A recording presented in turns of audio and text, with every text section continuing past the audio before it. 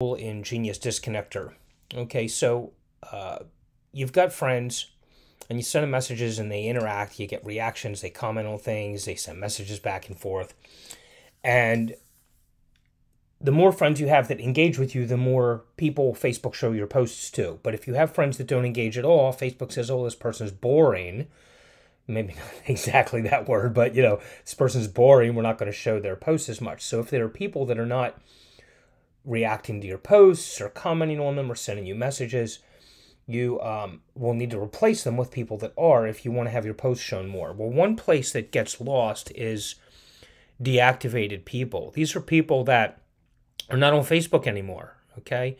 Uh, if we click, see that content's not available, they've locked their profile so that it can't be seen by anyone. The ones that don't have anything here, they're not even on Facebook anymore. See, I can't even click it these people have, for whatever reason, bowed out. Okay? They're wasting space. I have 30 of them when I ran my last analysis scan. There are 30 of these people. We can, whoops, we can show this whole screen there. and they're killing my algorithm because there are 30 people that'll never open a link, they'll never comment, they'll never message anymore. Okay, they're just done. So what we can do is just click all of those and click unfriend. And then as the airports say, bye bye. And they'll be gone.